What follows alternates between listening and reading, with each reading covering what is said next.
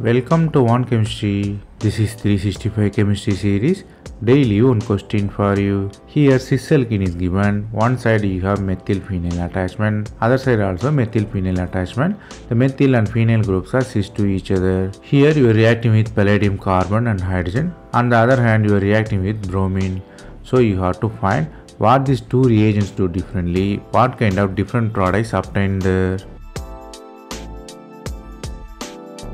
The answer lies in the addition. The syn addition of cis alkene leads to meso, trans alkene leads to racemic. Similarly, the anti-addition of cis alkene leads to racemic, anti-addition of trans alkene leads to meso. Here, palladium hydrogen addition is syn addition, bromine addition is anti-addition. So, according to our table, cis alkene and syn addition leads to meso, cis alkene and bromine leads to racemic. So, the reactant stereochemistry and reagent addition property leads to the product. The concept you have to learn here is palladium hydrogen addition is syn addition, bromine addition is anti-addition.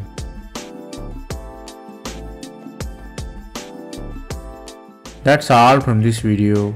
Thanks for watching.